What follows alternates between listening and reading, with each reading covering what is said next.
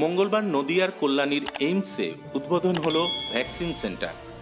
প্রদীপ প্রজ্বলন করে উদ্বোধন করলেন এইমসের ডিরেক্টর রামজি সিং। এছাড়াও উপস্থিত ছিলেন ডক্টর পারমিতা সেনগুপ্ত সহ অন্যান্য চিকিৎসকবর্গ। এইমসের ডিরেক্টর রামজি সিং বলেন, এদিন এইমসের কর্মীদের মোট তিরিশ জনকে দেওয়া হবে ভ্যাকসিন।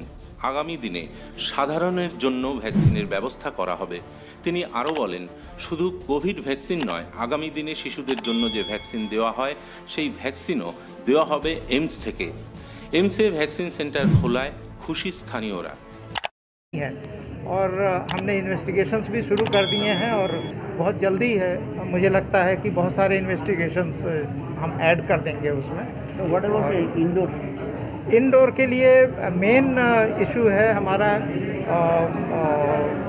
स्टाफ का। स्टाफ की पोस्ट अभी सैंक्शन होके आई नहीं है। जैसे ही आ जाती है हम इंडोर भी construction construction complete for construction तो जो है दिसंबर तक कंप्लीट हो जाएगा।